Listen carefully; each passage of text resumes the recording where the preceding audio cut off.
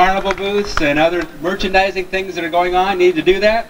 If you haven't signed up with the Carpenter Music Shop yet for a free guitar giveaway that's going to be given away tonight, you need to sign up for that too. It's good to have you here today. We've got some great bands, some good stuff going on. Stay for the whole thing. First band we have on today is a band from San Francisco. We haven't heard them too much in this area. We're glad to have them here. They've got a, a tape up in their merchandising booth. They've got uh, t-shirts, all kinds of stuff up there. From San Francisco, let's give a good welcome to Crossforce.